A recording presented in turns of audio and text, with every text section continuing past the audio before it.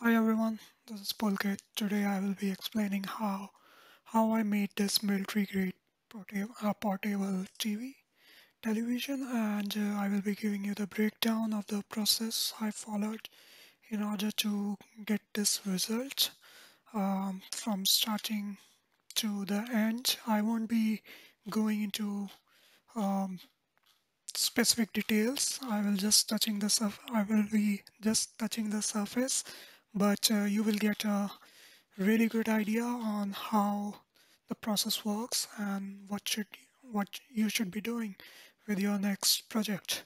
So let's get started.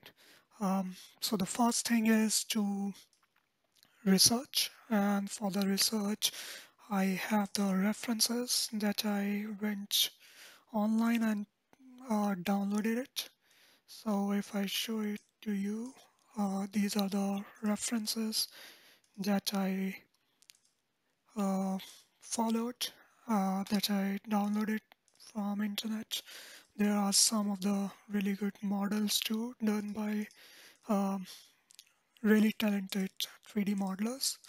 Um, so all of those I kind of have it in one place, and then I um, go into Photoshop or Illustrator and just combine them. There are other softwares that you can use in order to make a um, image pane for the with different uh, references that you want to follow and uh, use in your models. So these are some of the things that I used and um, these are the models I came up through uh, um, research and uh, this is it. So I will and I will also show you some of the models that I took at uh, took as a references. So these are the really talented guys that I found on uh, ArtStation, and uh, I kind of took ideas from multiple models. It's not a bad thing to uh, look at others' models. You're not uh, really cheating or taking their ideas. They are also following the uh, real-time models done by reputed companies and you are just taking the idea, seeing it in 3D, uh, 360 degree angle, what can be taken in your in your design, and you can use it in your design and how to do it. So these are really talented people, and I would highly recommend you to go through their uh, ArtStation account and try to find what they have been doing. Um, here is another model, portable TV NEC 5000. Uh, really beautiful model if you look at it. Um, and they are so detailed that uh, you can get a really good idea of what you want to do, really want to do. Uh, there's another artist, and I took a sorry about that. I took a idea from her model for, of Hitachi TV of 1980 and it's a really good way to learn about the uh, different aspects of the model the feature of the model to look at it. Like i have used some of the ideas from these models how things are because you will never be able to get a real uh, 360 degree image of a model like these. Like i i was lucky to get uh, my hand on one of these models uh, which was done by this guy james heron. I i hope i pronounce his now name correctly. And uh, i was able to get nearly all the images so that was helpful. Uh, so you will have to research um, really deeply in order to get all the features of the model you want to uh, develop for your portfolio for your just for fun. Um, and i i had to do a research and going into uh, details and uh, what can be taken. So I took ideas from all of these and also from uh, these that I got over the internet. Like I love these uh, models and uh, real images of the different products of the different uh, radios as well as the televisions or the mix of these. You will see I have used something like this in my model and also something like these like small small details pops out when you model it and that is how it uh, feels interesting when you render render your project. So let me just quickly go through my model how I did it. So in order to start I use my reference image in order to get the idea of the basic shapes. So I start with blockout so with blockout I just make use basic shapes to in order to get the idea of what should be done with the model. Uh, so these are just basic shapes squares rectangles uh, circles uh, and cylinders so I had everything lined up and going through my reference. So if you see I love the idea of uh, this guy like I told you the buttons. Uh, this is a really good uh, feature that I loved it. Um, for the speaker I went through this guy over here. I love the details how they made it uh, the kind of a bevel thing and all. I love the way things work out here the extra details panels like a panel something that they added and the details on this on this uh, dial and everything. Uh, I was also going through like I told you these guys models that they have done. So it gives me a better idea of how things can be used. So I love the details on these dials details on these um, the back side like I love this area how she did it. Uh, and uh, I didn't went with this feature the handle. I went with the one over here and I love the feature of this panel an extra bulky panel which gives it a more uh, robust feeling uh, like a military grade or something. Um, material so I use this. I love the way uh, the TV screen and the whatever the hood or whatever it's called uh, I I love the design how it came out. And I also love the feature of this giving a nice uh, uh, texture kind of a thing. Um, like if you look at uh, here I love the way they have done it. And they have put the dial over um, the display screen on the cutting the texture and I loved it. And that is what I have been using in my own um, project where I use a design and I use style to cover it and show half of the design. So you have to go through the references and find what you love. Uh, moving on.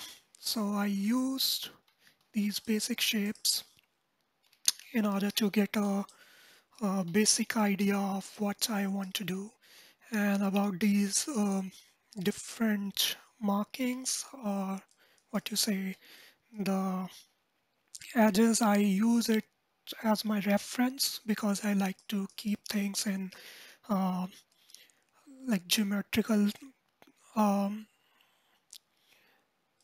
and uh, so I always try to measure things according to halves and 1 by 3 1 by 4 or however it works. So this is the middle point of this line and the, this is a middle point.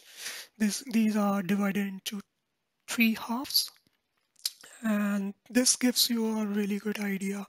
Like if you want to do a symmetrical thing you can easily do it. At the same time the uh, you have to break the symmetry somewhere so I it over here where I use different shapes and move them in different position. Um, in later stages you will see that I have even changed some of the features that I have in during blockout because blockout is mostly mostly for uh, giving you a better idea of what you want to do but you are you will always be making changes in the later stages. So it is just uh, for a reference for a uh, for you to get started with something. Um, so once you have the block out I usually go to the initial uh, low. Initial low is kind of a high poly that you will be using. Uh, it is in order to explain it so let me explain it in a, a better way um, I use block out to make low high initial low then I use this initial low to um, in order to make high poly so I export these things all of these things into ZBrush and I kind of give it a more uh, subtle look to it I kind of change things, bevel it, uh, give more details to it, boolean. Like if you try to boolean this part, the speaker part all together in Maya, you will have lots of uh, problem because of high number of uh, faces and complex geometry. But the same thing can be done in ZBrush and it's make the process much more easier. Um, so I try to have it in low poly. I call it uh, initial low, but uh, you can call it high poly or whatever. I call it initial low because I use the same uh, things in order to have my low poly later, later on. So you use block out, then you move to initial low, and from initial low you go to both stages of high poly and low poly. Um, so this is how I work on my things.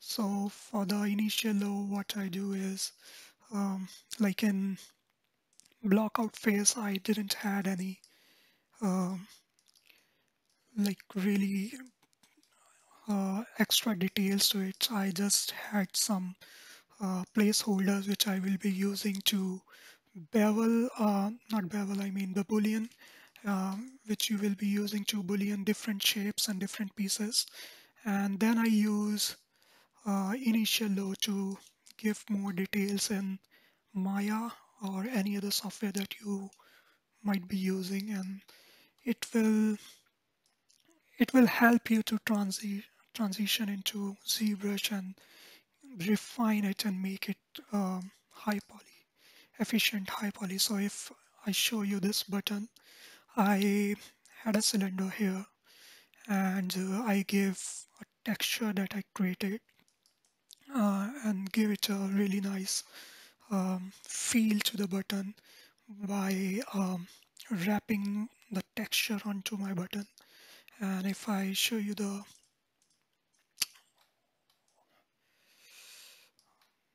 uh, so if you go let me just select it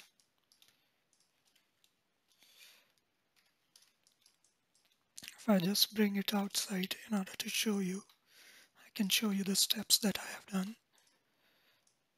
So these are the different parts that I've used. So how it will work is in ZBrush I will be combining these two parts all together then I will be using boolean to subtract this part from the button itself. And then I will be using this uh, circle part in order to have it a better look uh, something like this where I have uh, deleted that uh, uh cylinder kind of a thing and then added a circle kind of a thing inside it to give it a better look.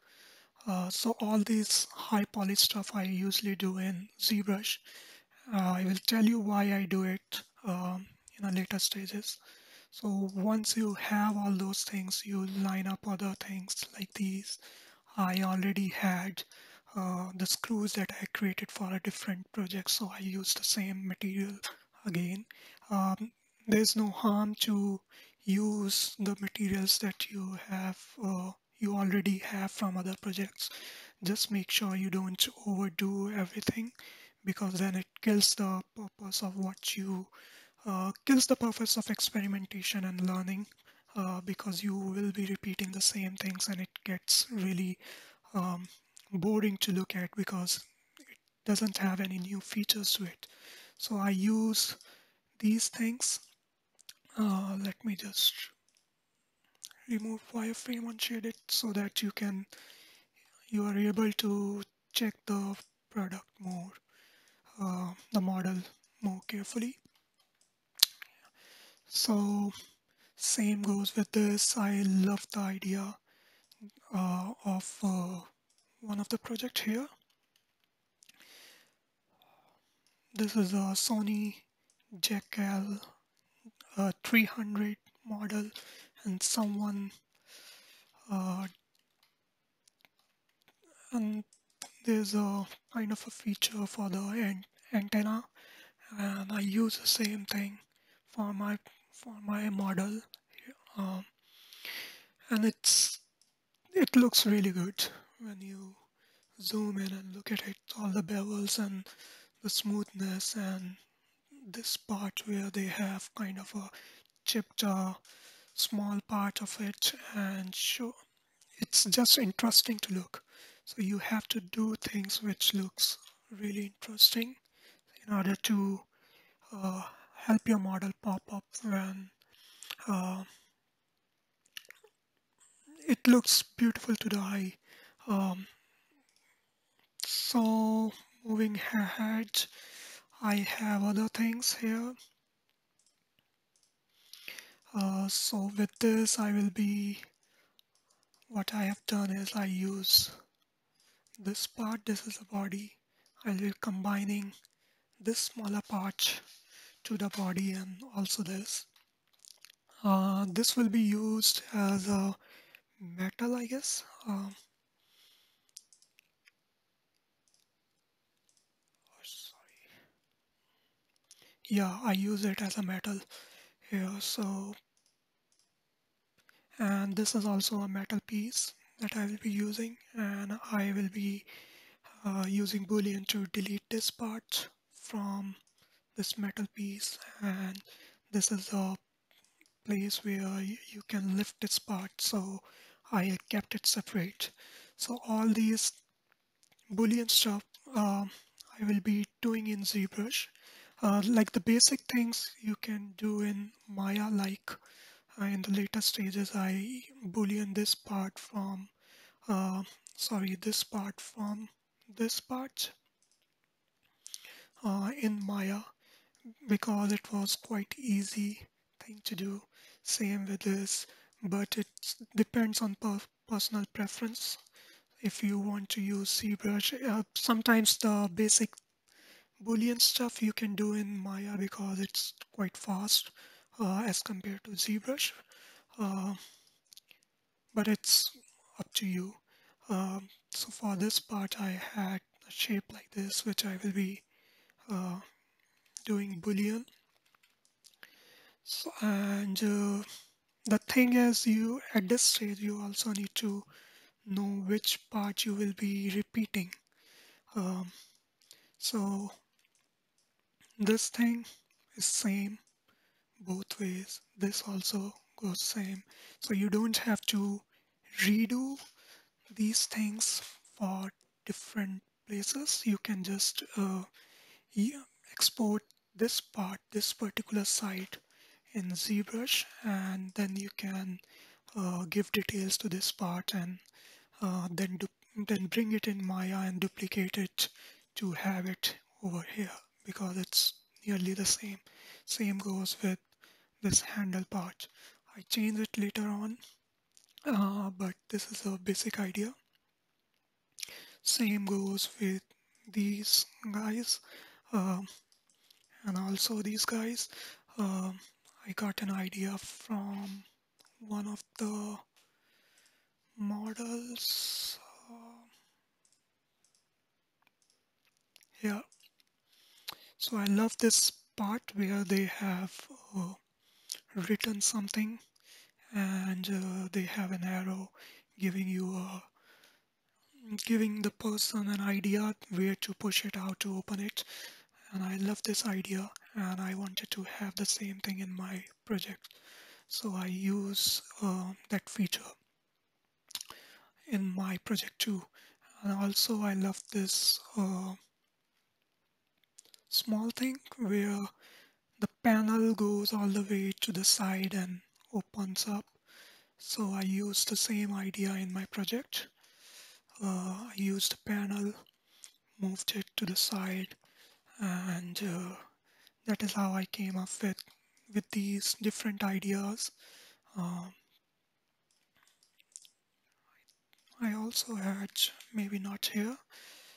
On so all these things I take it in ZBrush let me show you uh, my ZBrush file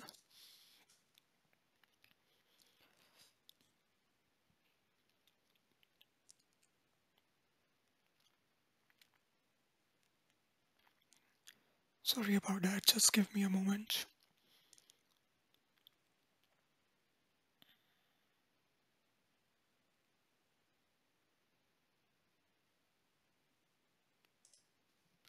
So here is my uh, the detail part. So what I did is I brought the mm, I brought that uh, initial low over here and I gave it uh, the beveling and uh, the boolean thing. I didn't boolean this but I should have done it. It was an extra work so I kind of got lazy in this area but uh, so I bevel, uh, I boolean all of these things and I will tell you why I did it uh, in a moment uh, but these are the kind of things I did in ZBrush in order to give details.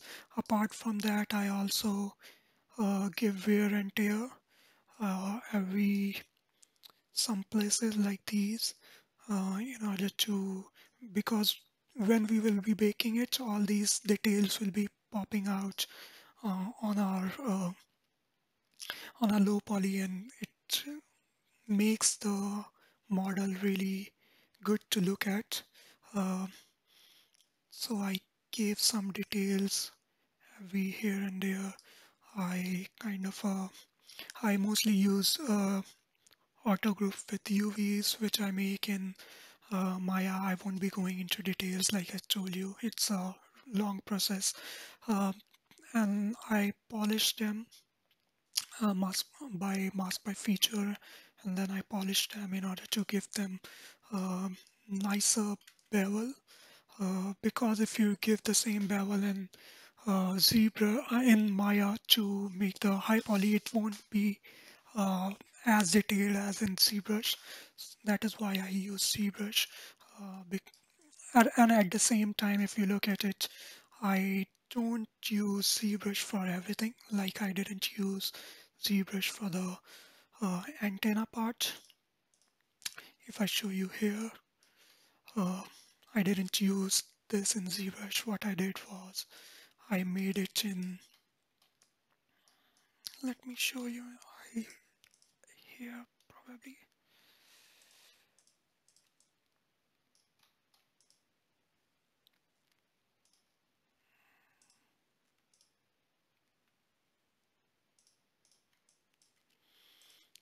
So whatever you can make high poly in Maya, you should do it. So it didn't had any um, major details that I had to look onto. So I did it. I kind of uh, beveled the edges and then uh, smoothed it out uh, through this area, uh, this feature. So it gave me a kind of a good result as as far as high poly is concerned so I didn't use high uh, didn't use uh, ZBrush to make high poly for everything.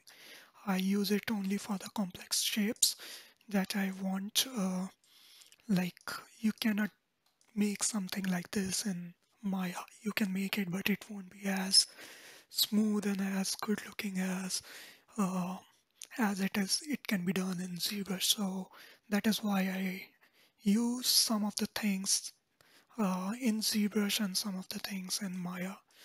Uh, this is a normal smooth thing that I have done in uh, Maya itself. Same goes with this part. Same goes with this.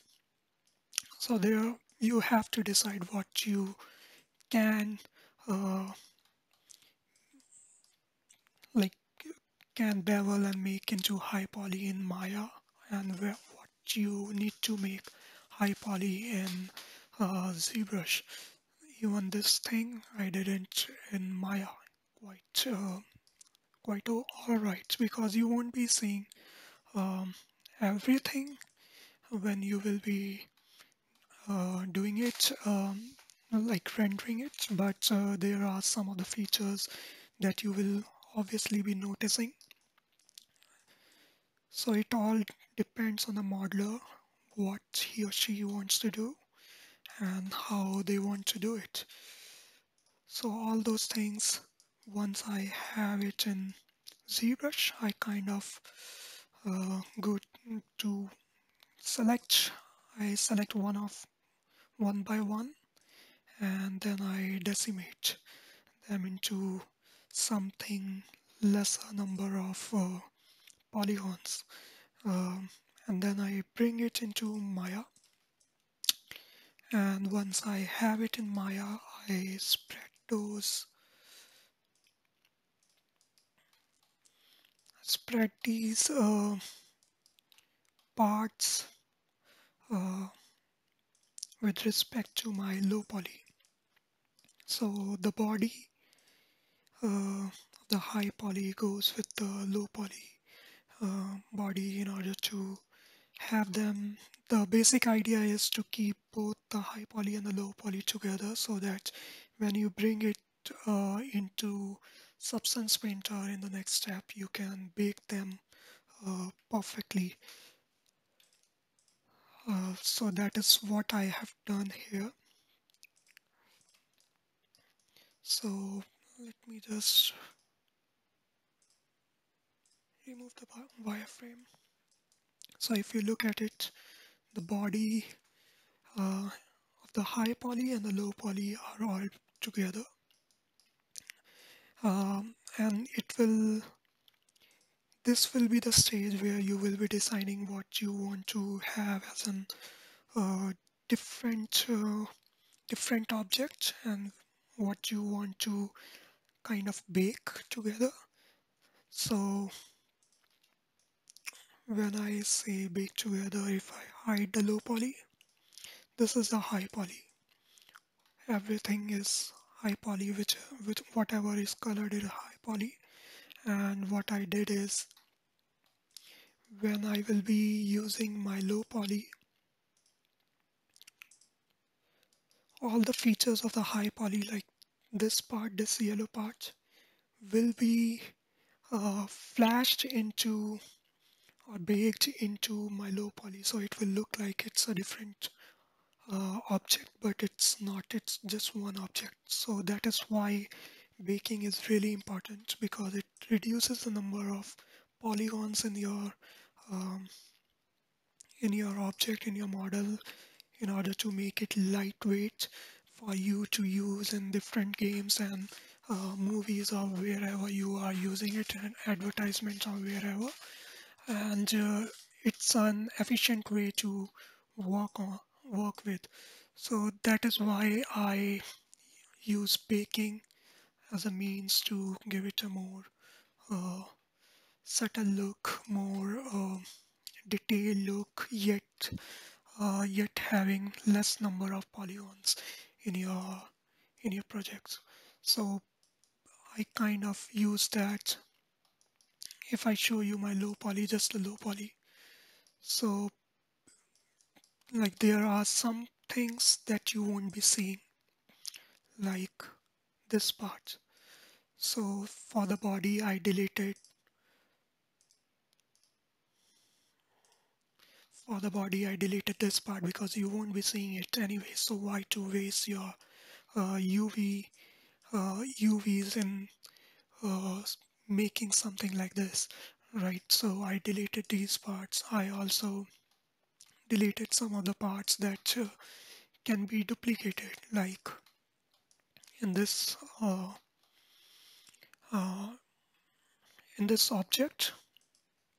These are the side panels uh, to hold uh, not the panel the rubber thing that holds the um, uh, the handle. So what I did is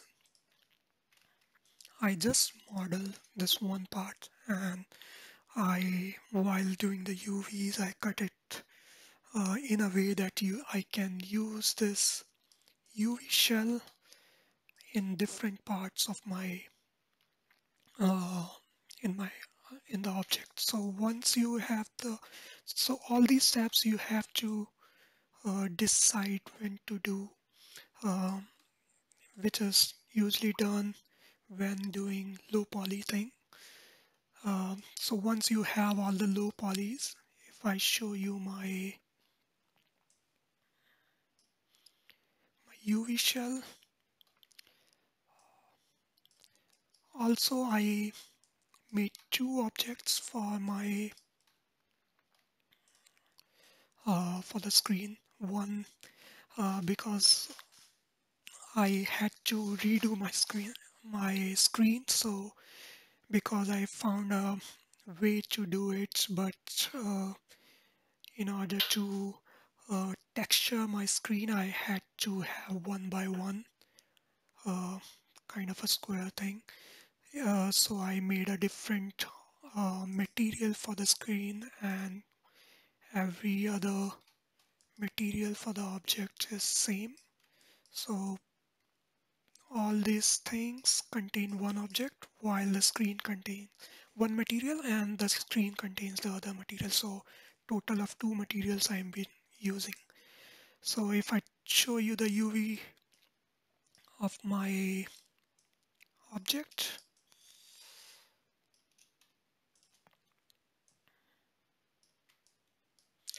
goes like this. So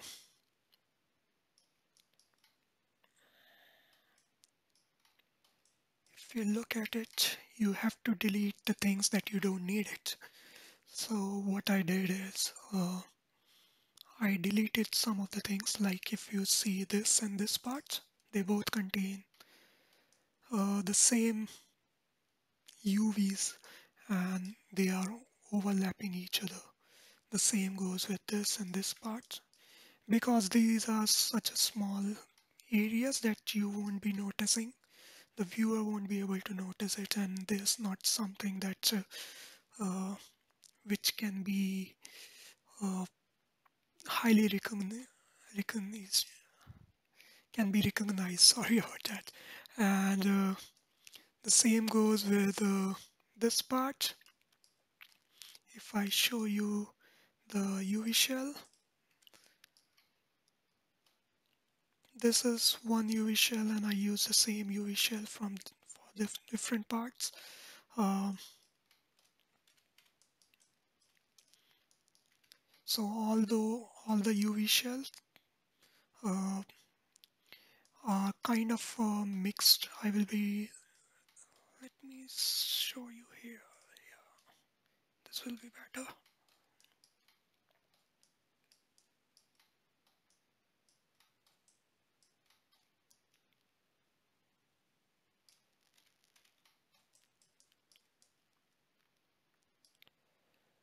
So this part and this part, they both are in the same space, same uh, place. The same goes with this and this. So I have four UV shells in one area because they gives the same uh, result so I didn't want to waste my UV shell area uh, with uh, useless uh, things right um, so once you have one area that you are happy with you can always copy that same UV shell and duplicate it and merge them into uh, the same location. The same goes here now. So all of these are same. If I remove just one of them you will be see there's other three at the same place. Um, this helps in saving this saving your space. Um, so once you have your low poly you kind of uh, spread all your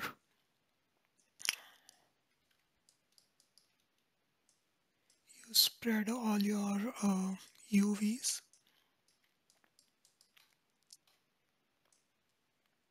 again kind of selected this. Okay so once you have it what you will be doing is once you spread it uh, in clear way why we are spreading it into straight lines and squares is because once you bake it and tries to texture it you will be adding decals and uh, uh, the straighter your UVs are it will be easier um, the more the straighter it is uh, more it is easier for you to add details to it to add texts or logos or whatever alphas you want to add decals you want to add.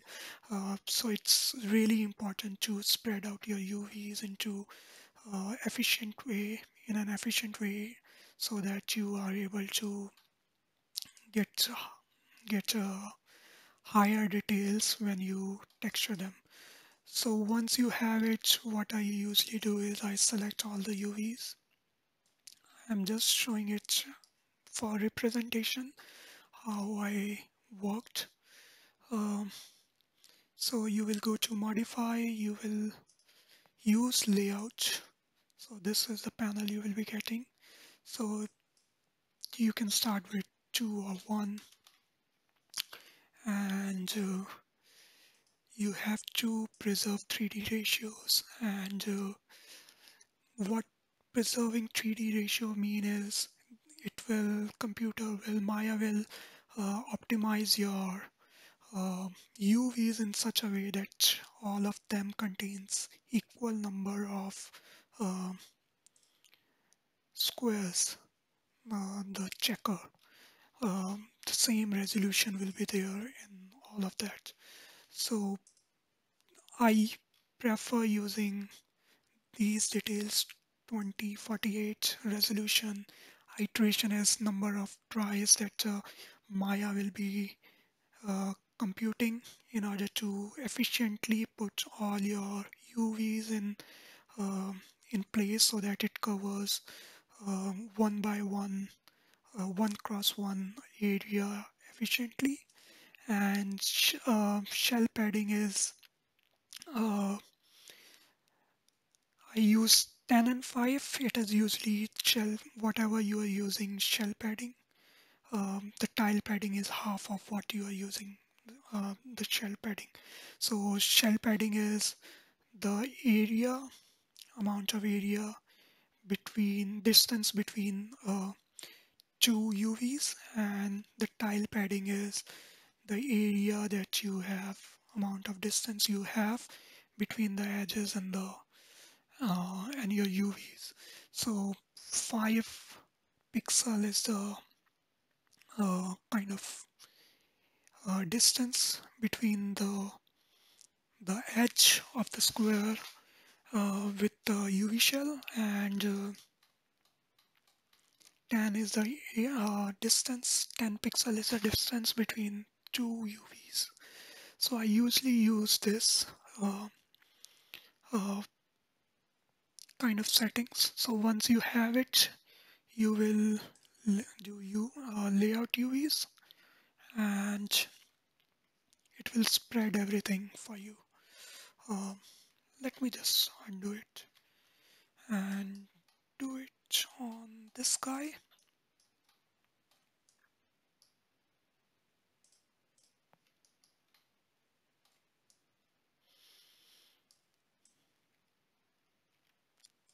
because I want to show you something. So I will be going to layout, preserving 3D ratios, and I will be doing layout uh, UVs. Oh, there's some problem with it. Uh, maybe, I don't know why, maybe I moved something. So let me use this instead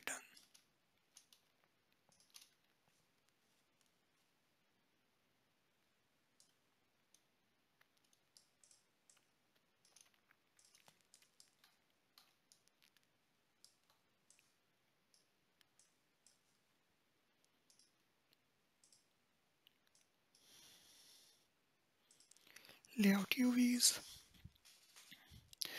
So Maya kind of adjusted your uh, UVs in such a way that all of all the objects have the same resolution. How to check that it have same resolution is to turn on your checker map and when you turn on the checker map you can see that uh, all the objects in your UV contain uh, same size of checker.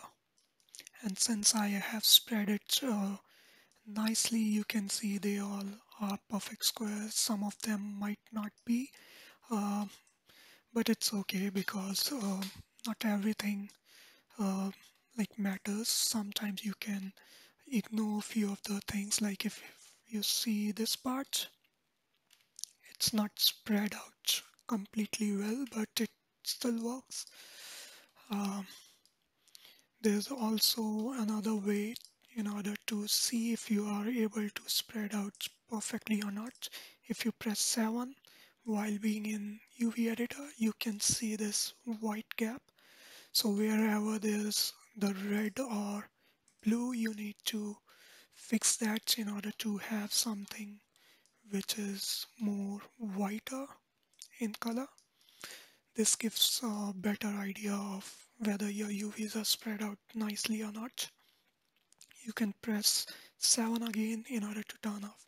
So some of them are not right like this part but it doesn't matter because it's way too inside and uh, I will be putting I'm putting some of the uh, buttons and uh, connectors here so you won't be seeing this area. Uh, so you can ignore some of them. Uh, it's not uh, really something uh, you need to be picky about all the time but you have to make sure that majority of the major things line up perfectly.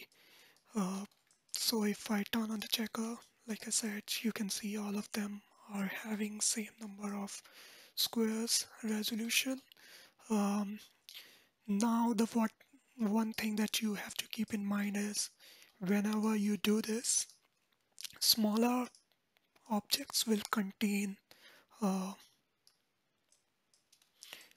lesser resolution. So in order to uh, increase the re resolution on these guys what I usually do is I select these smaller things that matters because when you will be texturing them the smaller details will be washed out if not uh, if they are not of high resolution. So I will select all of these maybe more. Uh, I'm just showing it for representation. Um, so I selected all of these for example. I will move it here. Let's turn off the checker box. Let's bring in UV toolkit that opens with the UV editor. And what I will be doing is I will be increasing the resolution on these guys by scaling them uh, to uh, to double its size or 1 by uh, 1.5 the size it is already. So I will let's do it to if I do it to uh, I will press on it. Press on the button to scale it. Once you have it scaled you can select all of them. Now again you can go to UV layout but this time you don't want to preserve ratios because you increase the um, resolution on some of these guys.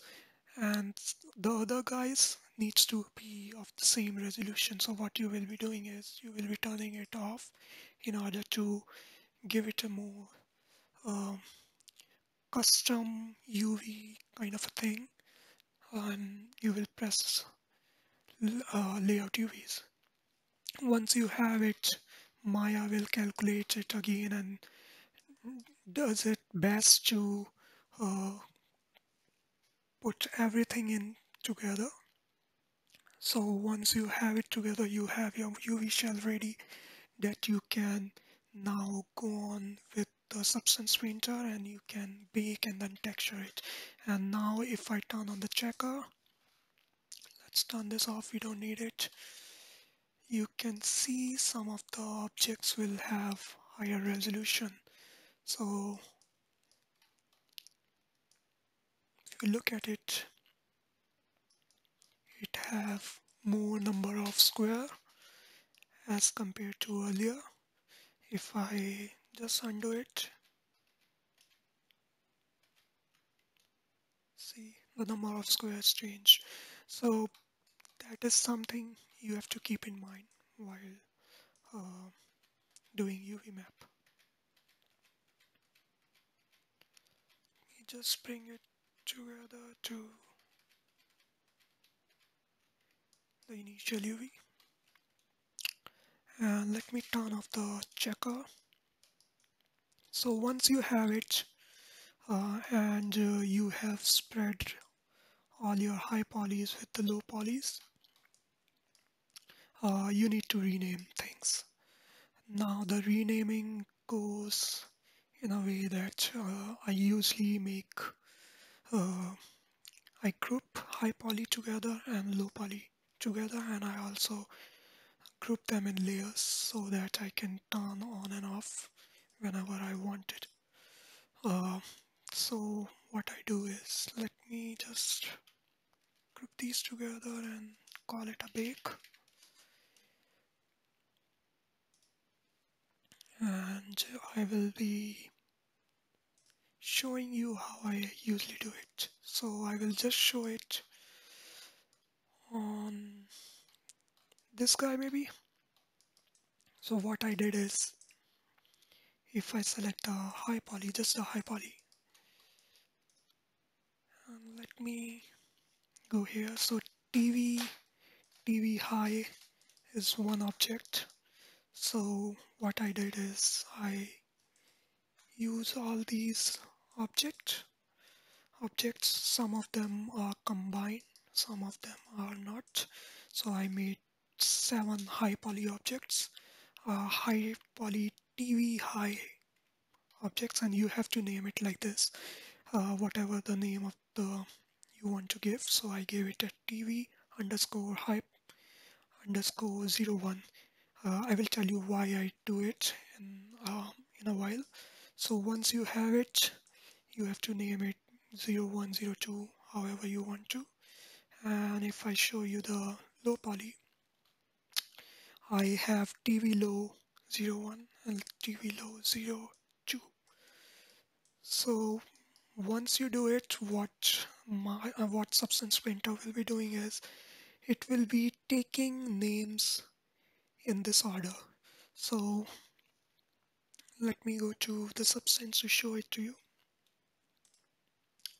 Uh, let me just turn off all the texture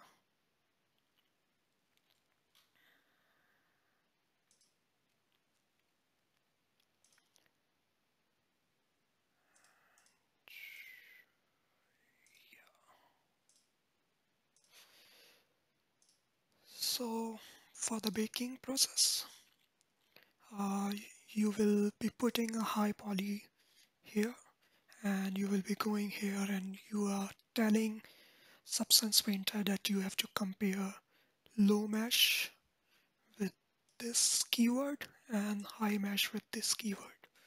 And also you have to match by a mesh name. So mesh name is uh, the name you will be giving uh, here. So the mesh name is TV and the underscore low and underscore high uh, substance painter will kind of compute together in order to bake efficiently. Uh, so what the substance painter will be doing is it will be you have to be a bit tech, technical to understand this. Um, it's a basic thing, but you have to try to understand it. What substance painter does is it will compare TV and it will check whether contains underscore low or underscore high. So when we bring in the low poly in, into uh, substance painter, it knows that it is TV underscore low. So when you bake them with high poly, it will search for the mesh name called TV underscore high and it will try to bake TV underscore high onto TV underscore low. Uh, and that is how you will be getting result like this um, with so that is why you need to name it perfectly uh, in Maya. So underscore 01 underscore 02 doesn't matter that much because um, substance uh, is intelligent enough to uh, understand that it's a different parts of the same material, same uh, object. So it will automatically uh, kind of uh, compute uh, in its uh, on its own area. But uh, don't worry about that. But you have to be really precise about the naming, how you want to do it. So that was a basic and uh, there's one more thing that I usually do if you look at it. You are baking low poly. Uh, you are baking high poly onto the low poly. And uh, there are a few things that you will have to understand is there are other objects that will be lining onto this TV TV low object. So you have to tell the computer that they are ambient occlusion uh, and uh, what it does it this is ambient occlusion high so what uh, uh substance does it it will first uh, kind of bake high poly onto a low poly and then it will go on to see for ambient occlusion. Ambient occlusion is kind of a thing which just tells the uh, tells the system that uh, there is some other objects that is kind of um, is in contact with the with the main object. So this uh, low poly TV is in contact with this object. So there will be some details that the substance painter need to uh, add into your low poly while baking the things. And uh, if you go here and check it, when you tell the substance painter that there is an um, object here, it gave it a better look better details here that uh, won't be there if you didn't mention it. Uh, same goes over here, same goes on different parts of the other uh, area here, here, and it helps in giving, uh, spreading more details on your objects. So once you have baked it, once you have all the details, also about the baking details, um, just the settings I will be showing it to you my own settings. Uh, but this is a final setting so it is quite high. For the lower settings I would prefer you, you do it 2048 and turn it back to 16 dilation width. And don't sub uh, turn off the subsampling because it takes more time to subsample. And uh, for the ID these are the some of the details. You can go through it. Uh, even this part I would be decreasing it to 16 or 32 um, according to your wish. The higher the settings is the higher uh, substance takes to uh, bake. So in order to have test bake you have to have low settings in order to make it quicker for you. Um, the same goes with ID ambient occlusion and uh, thickness. You can decrease it to 32 or 16 so once you have it you will go back to Maya and this time you will be assigning colors. Make sure all your low poly contains uh, same material uh, this is really important because you won't be making different materials for uh, different parts. You will be using just one material and that will be for the low poly. And for the high poly you will be making different materials depending on what you want to do. Uh, so if I show you my hyper hypershade I have assigned different colors. So it's a really efficient way to give you uh, easier um, easier and uh, less stressful uh, workflow it is uh, because it will decrease the num uh, decrease the size of your file if you have the same number of uh, different materials on low poly the size of your file will be really huge.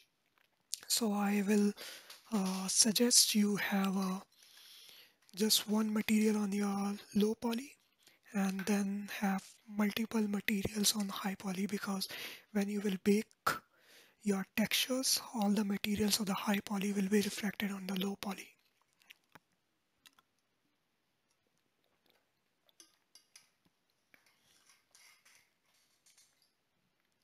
So what I did it did is um, I assigned different materials to my high poly. So green material I use for plastic body. Uh, orange is kind of a metal plate. Yellow is rubber. Um, then I have this shiny shiny metal for the for the red. And black is for metal reflective that I will be using for the handles and other parts. Apart from that, I also have um, I also have for the uh, color for the connectors, gold pins.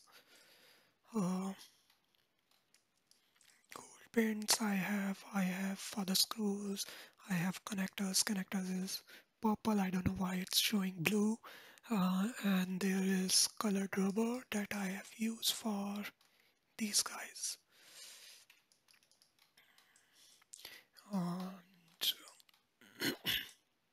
so once you have assigned all the colors also I have for the low poly I have assigned a different material for my screen because like I told you um, it has to be in one by one space in order to have everything uh, high resolution so I had to I was forced to have it uh, different material for this.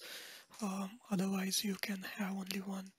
For the LCD I have a different material. If I select the material mm, or maybe I removed it. Never mind TV screen we are not using it. I was using it before but we were I'm not using it in my final version. So once you have all of that, you will again export as FBX, export selection as FBX, and you will put everything in one place. I usually have it in a folder called FBX, and I have high poly and low poly. Once everything is there, you can bring in here, project configuration, select files, and you can search for your um, material low poly you select it and then you will be going to bake textures. You can remove it add it again here um, FBX high poly you can add it and once you have it you can play with the settings. I won't I will highly suggest that you do all the subsamplings and all these details at the end when everything is done uh, because it takes time uh, for in order to bake everything. If your computer is uh, slow you need to do it at the end because it will be wasting a lot of time because there are some things like all these textures that you have placed on high poly you will still be making adjustment later on. Like I made this adjustment later on. I had orange color here and yellow color here. So you will be going back and forth uh, while texturing sometimes and also while baking. So it's better to start with the low settings in order to get efficient in your workflow without wasting any time and then when everything is done you can bake one final time at the end of your project in order to give higher resolution to your textures. For the textures I won't be going in details. Um, I will be just telling you how I do it. I start with the basic uh, that is uh, body uh, so plastic base. Then I have other objects shiny plastic. And uh, when I do this there's one thing I will tell you. I put all the materials in one folder. So since I have assigned all the textures onto all the materials onto high poly and not on low poly. How I assign uh, these high poly materials onto low poly is through color selection. So if you select um, the mask, once you have all those uh, things in place, let me just show it to you. let me just delete all of those. Uh, remove mask so I have this. Uh, let's assume I'm starting to texture my objects and I made one texture this um, for the gray plastic base. So once I have this I will group it together and then I will right click on it and will assign a black mask to it. Once I have the black mask I will select the black mask and I will select add mask with color selection. Once I have the color selection, I will choose pick color and now you have the color uh, that you have assigned to different uh, different uh, objects in high poly. So I will select the green color and this will do all your working, all, all the things that you were supposed to do um, so it efficiently put placed all the all the texture onto the green material that you have assigned to the high poly that got baked into the low poly now. So you can increase the tolerance. You can play with the tolerance. You see um, some of the materials were increased so you have to play with the tolerance in order to make efficient use of it. Um, and this is the perfect way to do texturing I feel because it decreases the um, time and effort that you waste on putting different uh, materials on different uh, objects. And it's kind of a hectic thing to do. So color selection is something that you should be using instead of assigning different materials to different parts and low poly and this is possible because you are baking. So you need to be a little technical about that is why I said you need to be a little technical in order to understand the working the flow of how you are doing things. And uh, this will help you in understanding and working more efficiently uh, on your models. So once you have this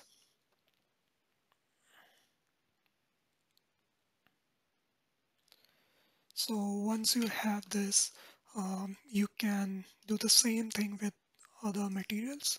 So I went on ahead and uh, did more of these things. Uh, I placed different materials on different objects giving better results for the screws for gold pins like I tell I told you I won't be going into details in order to because it's quite hectic and it's not something that can be done uh, really quickly. It takes time to texture and I would say you need to research and take your own sweet time because textures are everything and it will help you to pro to have better details uh, and better um, it looks soothing to the eyes when you put uh, the details and render it. So I would say take extra amount of time uh, on your texturing and on your rendering because you will be amazed how uh, beautiful your models will look after after all this all the texturing. Uh, the last thing up what I do is decals. So I will be explaining the decals a little for you guys. So let me turn off all of all of these. So I start with uh, big details and small details. So so the big details are these Hitachi and other if you have the logos or something uh, or the other and the smaller details or the decals are the other uh, what you say the stamps or the uh, alphas. You remember I told you to spread out your UVs perfectly. It is for this reason alone because if you go here if it's not spread you won't be able to type it down. So if I show it to you just for uh, just as an example let me select this and let's see font. I will select the font and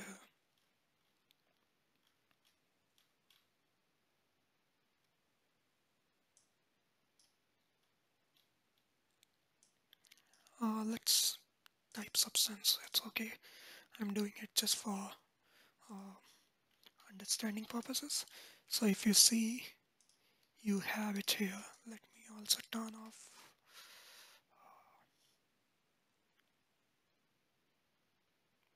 Hmm, where is the dot?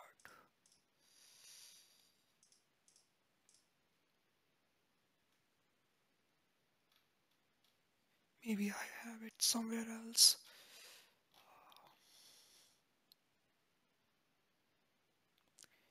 Anyway leave it like that. Um, if I don't have a spread out UVs in a proper way it will turn, it won't turn out the way it is turning out now. So if I show you one example I was having problems with one of these here. Was it here or no? It was somewhere here yeah. If I show you here scale it down, try to stamp it.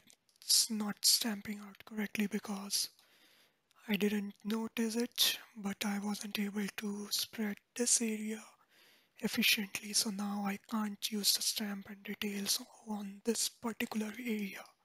This is the only area that uh, I'm unable to stamp. If I go here, I can stamp it perfectly because the resolution is less. So that is why you need to be careful to spread out your UVs efficiently. Um, and also if you didn't increase the resolution on some of the guys like here you can't stamp perfectly. So this is perfect.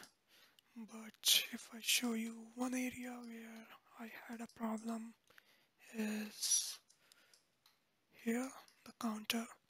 If you see you can't see this area nicely because I forgot to kind of increase the resolution on this guy.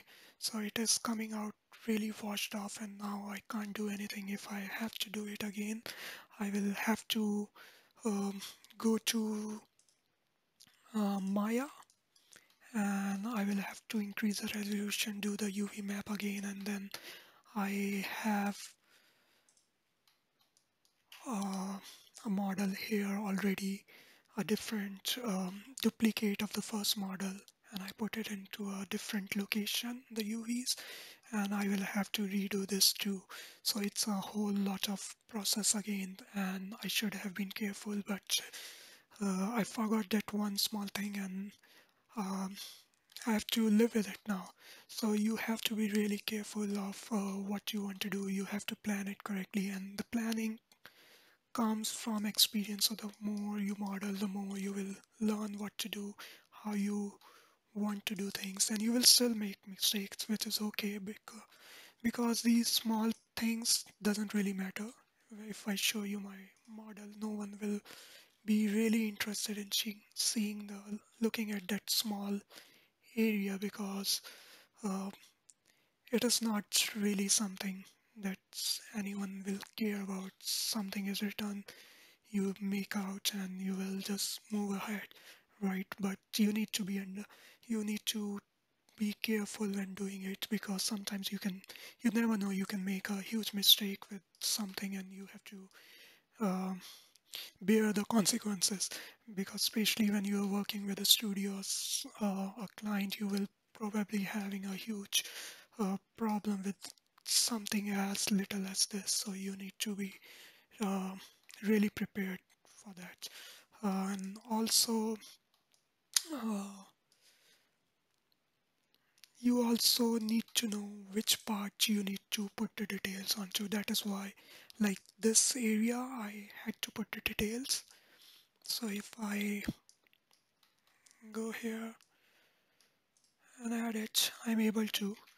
But uh, if I hadn't planned it beforehand this could have been smaller uh, lower resolution and I wouldn't be able to put on all these stamps all those all these decals like I'm able to do it now. That is why you need to research a lot in order to understand what you want to do how you want to do and that is why you need to have lots and lots of references in your pocket in order to give yours, yourself more uh, uh, give yourself more time to um, understand where you want to put the details and how you want to put the details. So reference the first step is pre-production and pre-production is that is why really important. If you lag behind on the pre-production you will miss uh, the opportunities to uh, like you will have a beautiful uh, product but you won't be able to add details to it. So it will be a really uh, sad thing uh, putting all the all those hours all those uh, hard work and then wasting it just because you couldn't uh, plan it perfectly right? Uh, so once you have it you will what you will do is you will export texture.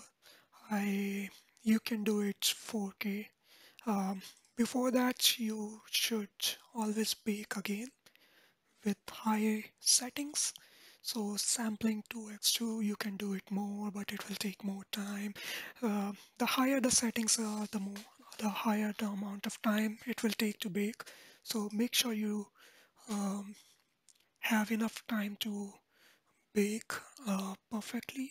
So once you have it what I usually do is I select a folder where I will be uh, exporting all my textures. I usually use PNG. I use 16 bits or 8 bits bitring you can use and uh, also I'm using two screens, uh, two materials. So when I if I show you my folder, the textures, I have all my textures here. so once I have the textures here I will be going to my Maya again one last time. And uh, I will be selecting this. I combine all of these together if I would prefer you to not combine screens uh, if there is any display screen because you will be adding transparency in Marmoset. So have it different, they contain the same object, same material, but have it as a different object. So I have one object, I have two objects, and the third one is the screen that I have this this screen uh, that I have. So once I have it, I will open Marmoset and bring in my object. So I have these two objects. So what I did is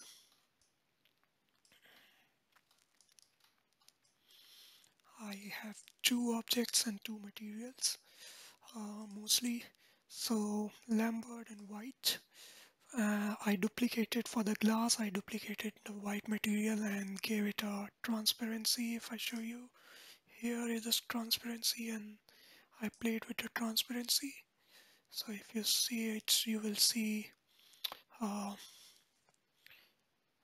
there's a different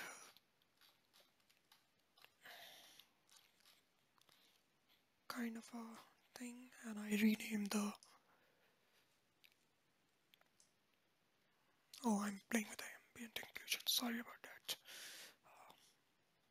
transparency.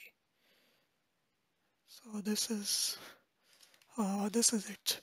I won't be again I won't be going into details on how to render uh, in Marmoset but you can always it's an easy software. Once you have it I I use a lot of lights because I'm using two different uh, objects being put together so I had to light it all together what you, people usually do is they render one object and then export it uh, as a PNG and put the same object in a different location in Photoshop.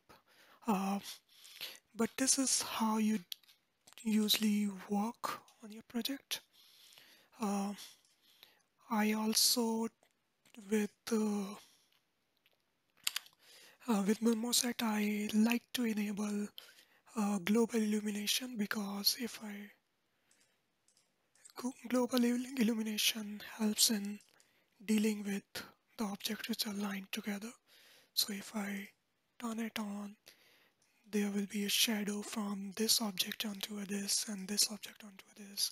And it works really beautifully. And uh, Marmoset is quite easy. If you want I can share some of the links that I follow of the guys who um, who try to render in Marmoset and that is how I learn Marmoset uh, it's quite easy it's quite simple and it's quite fast and efficient uh, as compared to Arnold which takes uh, a bit longer time to render things as compared to Marmoset uh, also you need to make sure your settings are high um, I try to have it 6000 by 3000 or 6000 by 6000 um, but it depends on uh, your own preference and I put transparency on. So let me just show you one example. Let's let's assume we are happy with this shot So I will go to capture and I will click on image. So it will work its magic, try to export it because of high texture and and too, ma too many lights it's taking a bit of time uh, but I have got it here so if you see it's a PNG with just an object and nothing else. And now what I usually do is I have a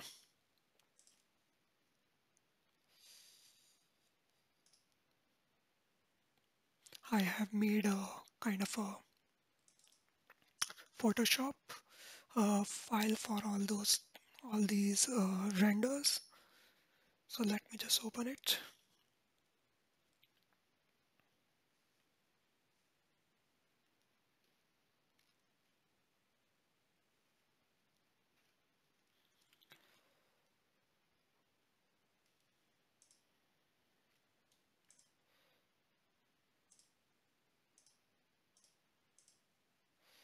I will just bring this file here so I have it here. So once I have it here um, what I usually do is I rasterize it and then I usually use levels in order to give it a bit of a brightness. It's personal preference. You can change the levels as you wish to.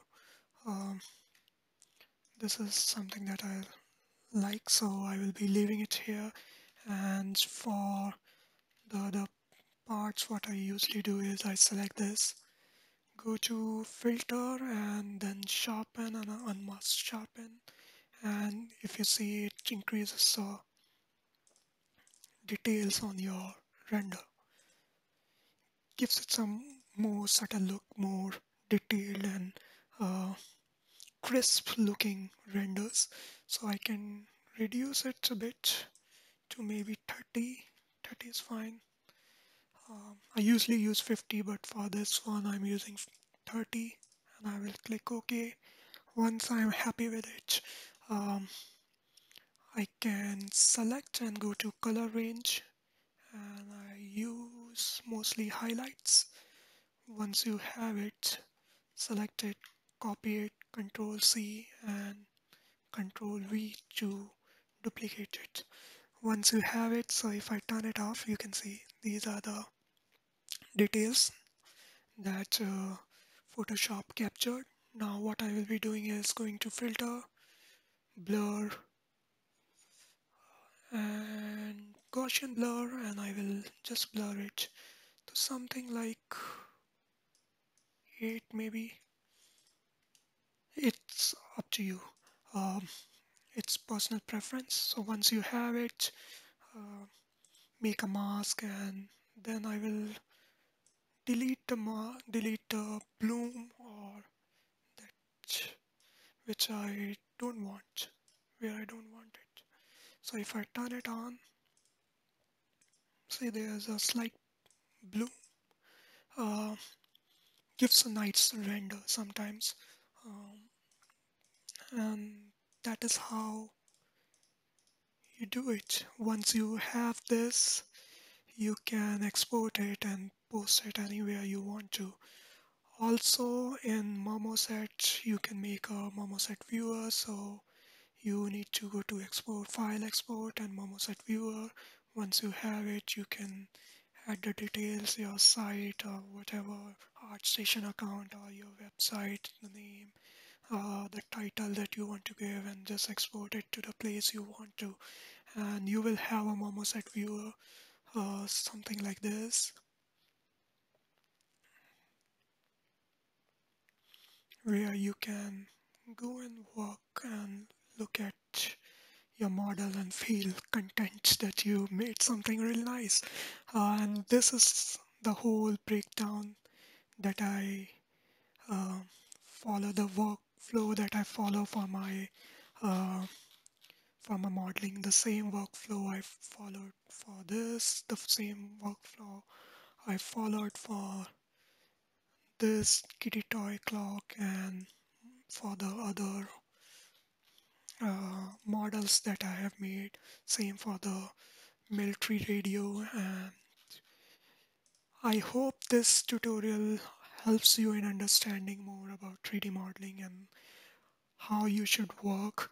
Um, I would suggest you to have uh, to try making high poly and low poly and then try baking it because baking works wonder and it helps you in reducing the size of the model so it can be used in uh, games and other uh, places and uh, you will be amazed by the um, but the result that will come out of it. For your reference, I will uh, I will put this uh, all the links to the resources uh, for the references and this um, reference collection board on my ArtStation account. Also, I will be linking this tutorial onto my ArtStation account if you want to follow it. If you want to make something like this yourself, you can always do it. Um, I wasn't that good in modeling before, but uh, believe me, with proper workflow, anyone can learn. So don't lose hope. hope uh, and keep working on your models. Um, you will be able to make realistic models in no time. Uh, best of luck and uh, keep me posted. Um, let me know how um, how you find my tutorial and the breakthrough break uh, breakdown of my project and uh, let me know what are your views on it. Thank you and meet you next time. Bye bye.